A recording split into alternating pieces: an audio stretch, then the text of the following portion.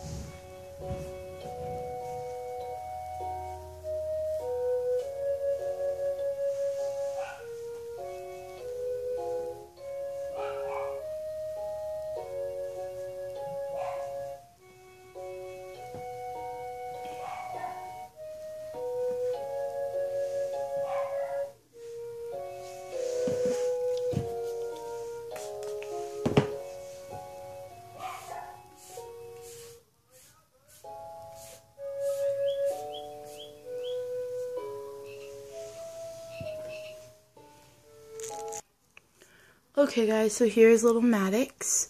Um, he just has his little hair brushed out. Um, he's wearing this new um, shirt that I got him. Um, it says all different shapes and sizes. Um, so it has all different shapes and sizes of like um, stuffed animals. So I figure it's kind of cute because every reborn is a different shape or a different size. So, yeah. Uh, so he's wearing that little um, brown pants with a elephant on the booty. If I can gently turn him over, I will show you. Come on, Maddie. There we go. Oh, and his um, his blue scratch mittens. Um, just kind of pick up on the small details of blue in the shirt and in the pants um, and little brown socks. So yeah, there's Maddox.